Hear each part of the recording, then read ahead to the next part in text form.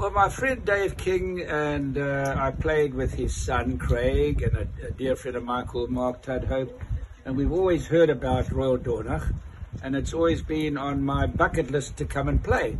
For some unknown reason, we've never come, and Dave and I decided we wanted to come and see this golf course, and we were so pleasantly surprised. It's one of the nicest golf courses I've ever played in my life, and I've probably played more golf courses maybe than any man in the world today. I've been a pro for 70 years, certainly traveled more than any athlete or any human more than uh, around the world and played a lot of great golf courses. But the hospitality was fantastic.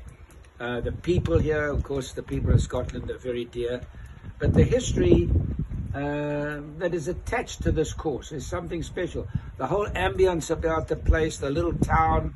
Now, I think you I only hope you can get the Walker Cup one day or uh, some, so the Scottish Open. I think the Scottish Open would be marvellous for them to play a Scottish Open here so the people of the world, of the world, could see this.